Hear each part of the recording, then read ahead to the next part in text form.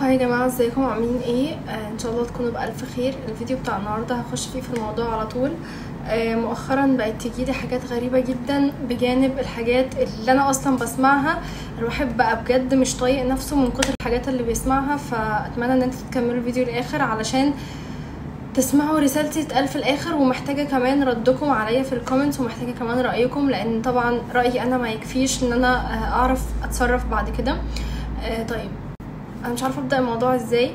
آه زي ما أنتم شايفين كده في الكومنت اتسرقت من صاحبتي وفي نفس الوقت هحكي لكم حاجة حصلت كنت ساكتة عنها فترة ولما لقيت إن الموضوع ده كمان حصل فقلت إن أنا أطلع أحكي لكم كل حاجة كاملة. طيب بسم الله الرحمن الرحيم. آه، أول حاجة هقولها لكم آه، كان في واحدة أعرفها. البنت دي آه، كانت في الجامعة يعني في سني. كانت طبعا إحنا عارفين كلنا في بداية في بداية الجامعة كلنا بنحب نتعرف على ناس ويبقى لينا أصحاب وزمايل والكلام ده كله. البنت دي اتعرفت على حد آه، معاها في الجامعة. آه، طبعا عايزة أقول لكم يعني إحنا ما بقيناش نشوفها أساسا. قعدت حوالي من أسبوعين لثلاث أسابيع كده مختفية. كل يوم بتنزل معاها. طبعا الناس اللي في الجامعة عارفين إن الجامعة انت حتى لو ما عندكيش غير يومين بس في الأسبوع أو ثلاث أيام تقدري تنزلي الأيام كلها عادي. معاكي كارنيهك وبتدخلي الجامعة في أي وقت. يعني جامعتك وانت حرة. فكانت بتروح كل يوم يتقابلوا في الجامعة. طبعا ما بيحضروش أي محاضرات خالص. يقعدوا مع بعض شوية على الكافيه مش عارفة إيه. طبعا عملوا ذكريات كتيرة مع بعض في الفترة دي. آه زي ما قلت لكم إحنا ما كناش بنسمع عنها أي حاجة. حتى لدرجة إنها الوقت اللي كانت بتبقى فاتحة فيه الواتساب أو ال social media عموما ما كانتش بتكلم أي حد قعدت فترة منعزلة تماما ويعني حاطة نفسها مع الشخص ده بس اللي هو أنا مش عايزة يبقى أنا عايزة أقول لكم إن هي كانت معمية بيه على قد ما كانت الفترة صغيرة جدا على قد ما هي كانت حرفيا معمية بيه. عايزة أوصل لكم كمان معلومة إن الشخص ده ما كانش من الجامعة نفسها. هقول لكم بقى القصة آه، دي قد إيه هي قصة غريبة بجد. الشخص ده يا جماعة كان من بره الجامعة وكان بيعرف يخش الجامعة. ايا يكن إيه السبب أنا معرفش بصراحة. في ناس بتزور كارنيهات في ناس بتعادي رشوة بقى والشغل ده. يعني كان إيه بيعرف يسلك ويدخل الجامعة. المهم بقى عشان أنتوا لما تعرفوا بعد كده إيه اللي حصل يعني هتتصدموا. الشخص ده مرة واحدة بعد حوالي ثلاث أسابيع مثلا مع البنت دي اختفى تماما. اللي هو مختفي من ال- ال social media واتساب انستجرام كل حاجة. اختفى ما بقاش ينزل الجامعة خالص بقت هي تدور عليه في كل حتة. بدأت ترجع لأصحابها تاني وافتكرتنا بعد ما حست إن هو ما بقاش موجود. طبعا ده ما يمنعش إنها فضلت تدور عليه كتير. المهم برضو ما قلتلكوش اللي حصل بعد كده. آه، فضل مختفي عنها تماما بتكلمه في كل حتة ما بيردش أصلا مش بيظهر إن هو اونلاين كان معاه خط تاني أصلا. المهم نرجع برضو خلينا في نفس نطاق الموضوع اللي بنتكلم فيه. آه بدأت ترجع لأصحابها وتدور عليه برضو في نفس الوقت وتستنى في الجامعة في يعني كتير جدا تنزل. حتى في الأيام اللي هي ما عندهاش فيها جامعة كانت بتنزل تستناه. آه كان في ما بينهم بقى اللي هو وعود ومش عارف إيه وبتاع وهجيلك وهستناكي وهتلاقيني ومش همشي وشغل من ده كتير. خصوصا إحنا كلنا عارفين إن إحنا كبني آدمين طبيعيين لما حد بيختفي من حياتنا بدون سبب بنتجنن.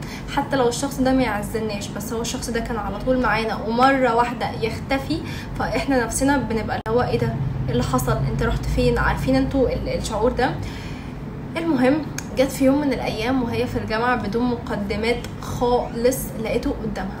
طبعا فرحت وفي نفس فرحت وفي نفس الوقت اللي هي هي مصدومة انت انت إزاي اللي هو كده يعني؟ يعني إزاي تختفي كل ده وما تعرفش حتى توصلني تطمني انت فين. المهم من هنا لهنا خدها وقعدوا مع بعض تاني قعد واحدة واحدة أنتوا فاهمين بقى قعد يحاول ان هو يصالحها وما يضايقهاش ويقول لها كلام حلو ومعلش وكان عندي وكان عندي. المهم ان هو فهمها ان هو كان عنده مشكلة كبيرة جدا مع أهله. من هنا لهنا البنت خلاص المسامح كريم ومفيش مشكلة ورجعوا يتكلموا تاني وقاعدين مع بعض. وبعد ما قعدوا حوالي ساعة ساعتين كده مع بعض راح قال لها أنا عايز تليفونك أعمل مكالمة. قالت له خلاص ماشي عادي جدا يعني مأمنة له. طبعا وهي هم أصلا من البداية يا جماعة لما كانوا صحاب قوي كانوا هما الاتنين عاملين باسوردات الموبايلات بتاعتهم زي بعض. فهو راح قال لها إيه أنت لسه عامل password باسمي وكده فرح يعني فرح وكده؟ وقالت له آه وبتاع. خد التليفون رن ساعتها على باباه قدامها يعني قال لها إن أنا برن على بابايا واتكلم معاه وقعد يتكلم معاه طبعا نسيت أقول لكم حاجة لأن أنا فعلا متحمسة جدا للقصة ان أنا أقول لكم النهايه بتاعتها وأوصل لكم الرسالة. الشخص ده لما هي قابلته صدفة في الجامعة ما كانش معاه موبايل ما كانش معاه أي حاجة وفهمها. ودي الحاجة اللي خلتها أصلا تسامحه على طول إن هي حست فعلا إن هو متغير وإن هو مش معاه موبايل وإن هو حصل معاه مشاكل كتير. فأمنت له تاني ووثقت فيه وقالت أكيد بعيد عني غصب عنه.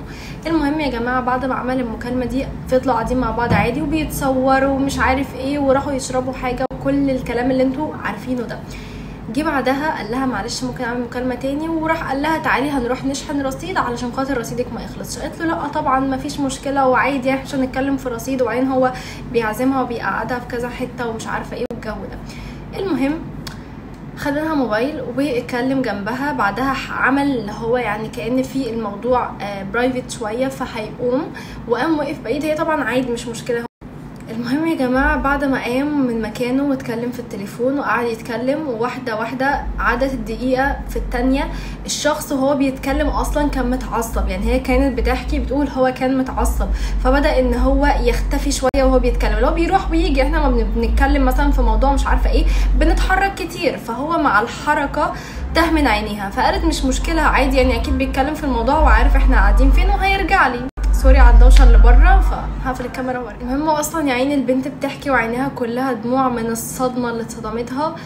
الشخص ده قعد يلف كده شوية عدت الدقيقة الأولى في التانية في التالتة خمس دقايق وهي برضو كل ده بتقول أكيد الموضوع مهم لدرجة إنها كان بيقولها هشحلك رصيد فأكيد عنده مكالمة مهمة قعد يا جماعة عدت أول عشر دقايق ربع ساعة نص ساعة بدأت تدور حواليها. في الأول كانت مدية الأمان ومش عايزة تحسسه بإنها مش واثقة فيه وتقوم تدور عليه وبتاع وكده. المهم يا جماعة بعد حوالي ساعة في التانية البنت خلاص فهمت إن هو يعني مستحيل يكون تايه منها مستحيل أصلا صغير. واكتشفت إن هو خد الموبايل ومشي. يعني هو كل السيناريو اللي عاملها عليها ده مخطط بقاله شهرين ومصاحبها ومش عارف إيه طلع عشان خاطر يسرق الموبايل بتاعها. الله أعلم كان ممكن يسرق إيه تاني بس يمكن دي الحاجة اللي قدر عليها والناس دي طبعا بتبقى موجودة في كل لا وكمان عايزة أقول لكم يا جماعة معلومة المصيبة ال يعني الألعن في الموضوع إن كل حاجة كل حاجة حرفيا هي ممكن تفتكروا بيها كلها على الموبايل يعني هي أصلا. ولا عارفة ولا معاها صورة ليه ولا هتقدر توصفه ولا حتى الجامعة فيها كاميرات إنها تجيب المكان اللي هما كانوا قاعدين فيه لا وخضر كبيرة كمان حتى رقمها ورقمه كل كل حاجة حرفيا على الموبايل يعني كل التفاصيل اللي هي ممكن توصلها على الموبايل. هي من كتر الفزعة اللي هي فيها ما كانتش عارفة تتصرف إزاي. آه وقفت حد وحكت له موقف ده كان فيه فلان وكذا وكذا وكان بيتكلم ومشي وبتاع. اتصلوا بالرقم بتاعها اللي هو في الموبايل لقوه مقفول. أصل هي ما اتصلتش بالرقم يا جماعة غير بعد ساعتين أنتوا متخيلين؟ هي طول الساعتين دول مش مخونة وبتدور ومصدومة ومش عارفة تعمل حاجة. اتصلت بموبايل مقفول حاولت يعني تعمل أي حاجة ما فيش رجعت البيت. طبعا ما عرفتش أهلها أي تفاصيل. كل اللي قالته إن هي موبايلها ضاع. طبعا على ما استحملت كلام من أهلها وراحوا وقفوا الخط والدنيا اتقلبت. روحت البيت بالليل بتفتح الأكونتات بتاعتها بتحاول إنها ترجع الفيس إنستجرام أي حاجة مفيش فايدة خالص. أنتوا متخيلين يا جماعة ما كانش فيه أي فايدة خالص في إنها تعرف ترجع حاجة. لقيت كل حاجة اتغيرت وحتى الجيميلات وكل حاجة. هي كانت ربطاها بالأكونتات بتاعتها كانت على الموبايل التاني وإن هي كانت مأمنة الموبايل ولازم يجي notification على الموبايل التاني. فكان حوار طويل وحزين جدا ومحتاج له بقى إيه هاكرز ومش عارفه إيه وحاجات من دي. وهي طبعا عمرها ما تعرف توصل لحاجة لوحدها. المهم بعد كده آه بعدها بحوالي يومين ثلاثة جت البنت دي بتقول الحقوني ده بيهددني. أنتوا متخيلين يا جماعة؟ اكونتات فيك بتبعت لها تهديد. مش شرط هو هي ما تعرفش هو ولا لأ بس أكيد هو بتتهدد بصوت طبعا عدى على الحوار ده كتير معرفش إيه اللي حصل لها دلوقتي معرفش هي فين دلوقتي أساسا. بس أنا كنت متضايقة جدا اللي هو انت من البداية أساسا إزاي أمنتي لحد غريب. آه أنا اللي عايزة أوصله لكم رسالة إن إحنا مش لازم نتعرف على حد من ال social media ونثق فيه. آه في الكويس آه في الوحش إحنا مش هنخون بس على الأقل هنحرص. يعني دايما بيقول لك حرص ولا تخون. انت ما تخونيش اللي قدامك بس حرصي منه. ما تديش اللي قدامك قيمة أكبر منه لمجرد إن انت مثلا مبسوطة دلوقتي. طب ما انت ما تعرفيش هو نيته فيها إيه. نفس الفكرة دي مع بنات أو ولاد. أنا بقى اللي حصل لي كانت واحدة صاحبتي يعني الله يسهل لها حالها كانت بتسرقني. كانت بتسرقني إزاي؟ كانت دي قصة بقى. يعني أنا ما حكيتهاش في الفيديو ده لأن أنا كان بالنسبة لي أحكي لكم القصة دي أعمق أكتر. القصة بتاعتي حزينة قوي ولو حكيتها أصلا هعيط. فالحمد لله يعني الحمد لله. آه بس كده لقيت الفيديو هيعدي 8 دقايق فقلت ما كترش عليكم عن كده لأن أنا عارفة إن الناس الأخ... يعني الفترة الأخيرة بقت تقول لي قللي مدة الفيديوهات بتاعتك. فاستنوا الفيديو اللي جاي بإذن الله هحكي لكم فيه الحوار بتاعي أنا وصاحبتي وهستنى منكم أنتوا كمان تحكوا لي القصص اللي مريتوا بيها عشان خاطر نطلع نفيد الناس. وعايزة أوصل لكم معلومة كمان مش شرط إن انت تتعرفي على ناس في ال social media ويطلعوا وحشين ممكن تعرفي عليهم في الجامعة ممكن في المدرسة ممكن في الدروس ممكن في أي حتة. أهم حاجة ما نديش حد ثقة ونديله يعني قيمة أكتر من حجمه عشان بعدين ما ناخدش خازوق على قفانا. وبس كده كان فيديو النهارده. أشوفكم الفيديو اللي جاي بإذن الله. سلام.